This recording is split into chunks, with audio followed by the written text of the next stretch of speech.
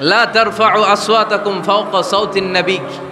খবরদার, ওহে বিশ্বাসীরা, নবীর কণ্ঠের চাইতে যেন তোমাদের কণ্ঠ উঁচু হয়ে না যায়। আপনারা কথা শুনতেছেন? মনোযোগ আছে না গেছে? বনু তামিম গোত্রের নেতা কে হবে? আল্লাহর হাবিব সাহা ইসলাম পরামর্শ করছিলেন। সাইদান আবু বকর বললেন, আমার মতামত হচ্ছে এই লোকটা নেতা হলে ভালো হয়, যোগ্য লোক। উমারে ফারুক বললেন, না, উনি না। আবু বকর যেটা বলেছে, ওইটা না আমার মনে হয় এই লোকটা নেতা হলে ভালো হয়। আবু বকর বললেন, না, ওমর, তুমি বুঝো না আমি যারা বলছি সে ভালো। ওমরে ফারুক বলে, না, আবু বকর, আমি যাকে বলেছি সে ভালো। এরকম মতামত দিতে দিতে, তর্ক করতে করতে বিশ্বনবীর গলার চাইতে সাহাবিদের গলার আওয়াজ বড় হয়ে গিয়েছে। আল্লাহ এটা আরসের উপর থেকে বরদাস্ত করে নাই। আল্লাহ বলেছেন, খবরদার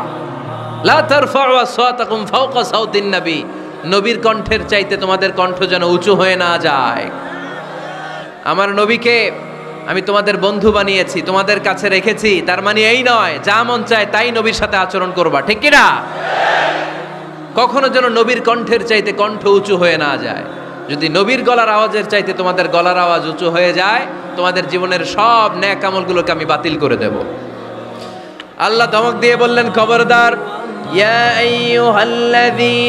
আমানু لا ترفعوا أصواتكم فوق صوت النبي ولا تجهروا له بالقول كجهر بعضكم لبعض أن تحبط أعمالكم وأنتم لا تشعرون পড়েন সুবহান আল্লাহ আল্লাহ বললেন খবরদার আমার নবীর কণ্ঠের চাইতে যেন তোমাদের কণ্ঠ উঁচু হয়ে না যায় আমার হাবিবের কণ্ঠের চাইতে তোমাদের কণ্ঠ যদি উঁচু হয়ে যায়, বেয়াদুবি হয়ে যাবে। ফলে তোমাদের সব ন্যাক আমল বাতিল করে দিবে কে?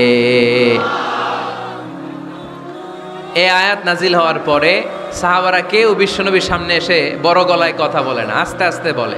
কেমনে বলে? ওমরে ফারুক, এ আয়াত শুনে এত ভয় পেলেন, তিনি বিশ্বনবীর কাছে কোনো কথা নিয়ে আসলে ফিস ফিস করে বলতেন। বিশ্বনবী শুনতে পেতেন না। বলতেন এই ওমর কি বলছো? বুঝি নাই, জোরে বলো। ওমরে ফারুক সাউন্ড বাড়িয়ে জোরে বলতেন। বিশ্বনবী বলতেন, এই, কি বলেছ? এদিকে আসো, জোরে বলো। আমি শুনতে পাচ্ছি না ওমর আরও জোরে বলো। ওমরে ফারুক আবার একটু সাউন্ড বাড়িয়ে আবার বলতে আরম্ভ করতেন বিশ্বনবী বলতেন, আমি শুনতে পাচ্ছি না, জোরে বলো। সুবহানাল্লাহ পড়েন। ভয়ে আমালুকুম খবরদার নবীর কণ্ঠের চাইতে যদি কণ্ঠ উঁচু হয়ে যায়, সব ন্যাক আমল বাতিল করে দিবে কে?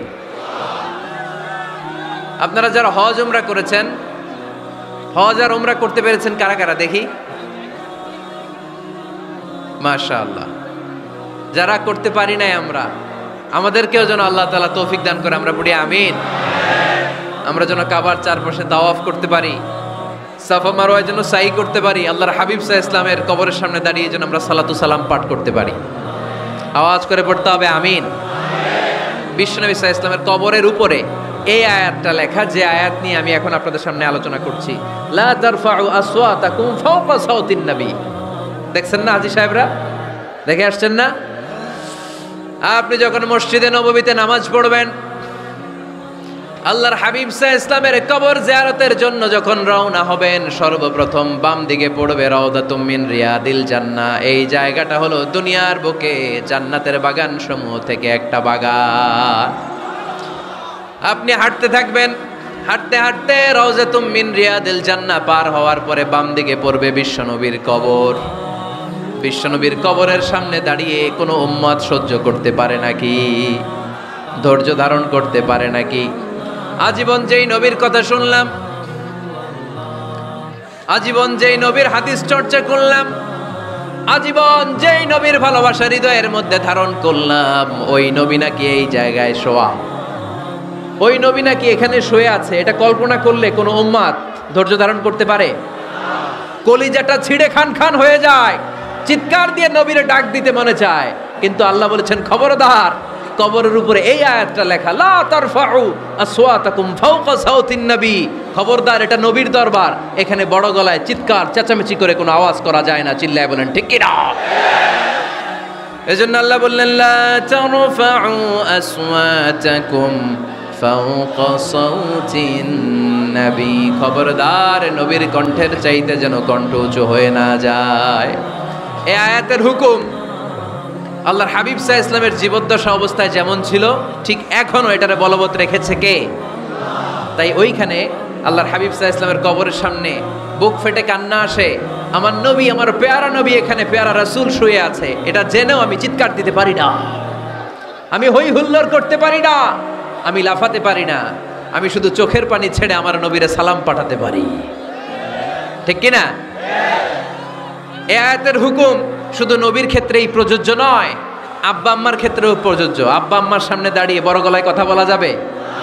উস্তাদ আল আসাতেজা যারা আমাদেরকে শিখিয়েছেন, তাদের সামনে বড় গলায় কথা বলা যাবে না। আধ্যাত্মিক গুরু, ইসলামী আন্দোলনের নেতা, ধর্মীয় নেতা, ওনাদের সামনেও চোখ রাঙিয়ে কথা বলা যাবে না, চিল্লায় বলেন, ঠিক কিনা? আদব নাই সমাজে। আদব নাই। এজন্য এত মহা সমস্যা। আল্লাহ আল্লাহর হাবিব যা বলেছেন ওইটাই ফাইনাল ওইটার উপরে কোনো কথা আছে?